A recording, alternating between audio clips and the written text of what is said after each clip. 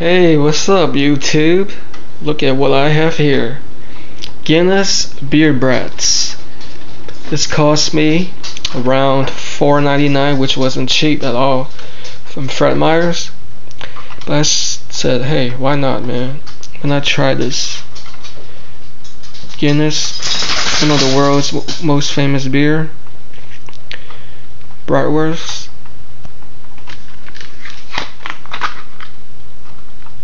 210 calories, six servings. So, what you have here, the Cuisinart skewer, rotating skewer. So I'm gonna be using this. Unfortunately, ideally, you would probably want to use this on a you know actual outdoor barbecue grill, but this is all I have to work with. So I'm gonna put some on here, and we'll see how it turns out and how it tastes.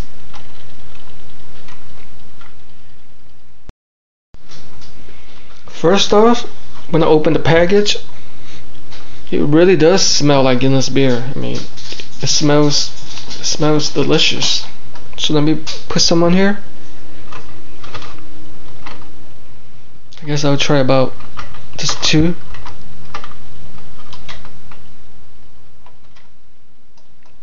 See how that's rotating? In case you um you wonder what I'm doing right here, I have some uh, shish kebabs marinated in Mike's Hard Bloody Orange drink. So I'm guessing this will probably take like 40 minutes, 45 minutes. We'll see how it turns out and how it tastes. Hey, what's up YouTube? Looks like I should have set my timer to be medium instead of high. So I removed the top cover that kind of insulates the heat. It looks like it burned my beer brats a little bit, but it looks like it's ready. It's been cooking for about 25 minutes. So let me take these out and try it.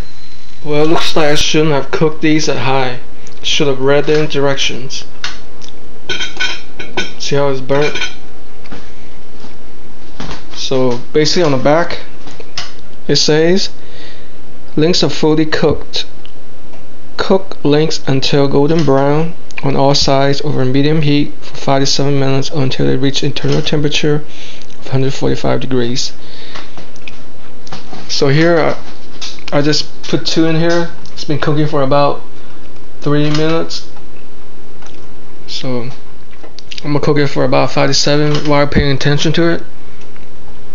But the burnt ones takes it good right amount of seasoning. I taste a little bit of the beer, but it might have ruined it, so I'm gonna have to do it over and try these while paying close attention. Oh yeah, that's done. So I cut down the middle of one. It's pretty juicy. Smells exactly like it was uncooked with the Guinness beer marinating it. Let me take a bite.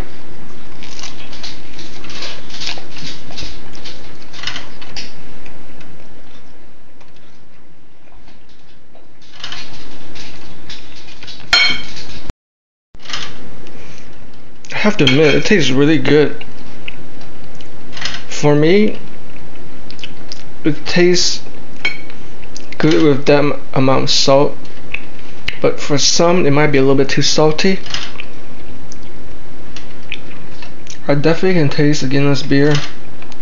I'm gonna have to admit, this is one of the best bratwurst I ever had. And imagine how even better it would taste on a regular barbecue grill. So on the taste itself, I would give it a